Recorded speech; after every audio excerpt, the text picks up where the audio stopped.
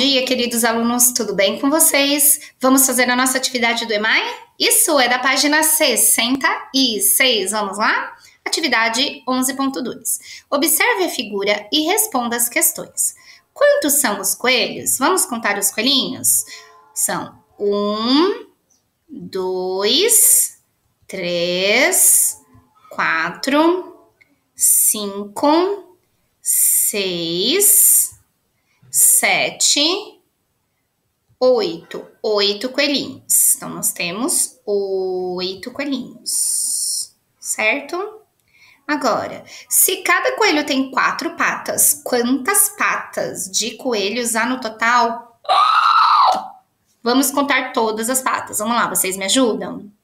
Um, dois, três, quatro, cinco, seis, sete, oito, nove, dez, onze, doze, 13, 14, 15, 16, 17, 18, 19, 20, 21, 22, 23, 24, 25, 26, 27, 28, 29, 30, 31, 32 patas de coelho. Então são oito coelhos que todos juntos têm 32 patas. Meu Deus, um coelho tem quatro.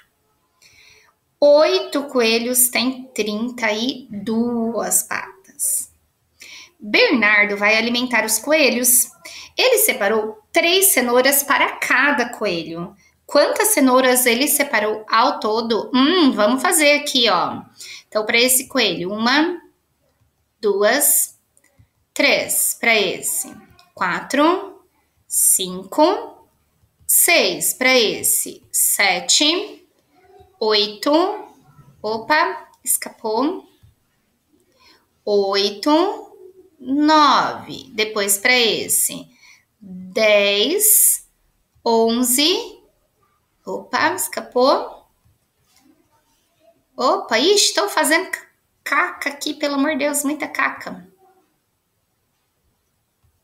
Aí, dez, onze, doze treze, 14, 15, 16, 17, 18, 19, 20, 21, 22, 23 e 24. Oh, gente, três cenouras para cada coelho dá um total de 24 cenouras. Jesus! É coelho que não acaba mais, né, gente? Fala a verdade.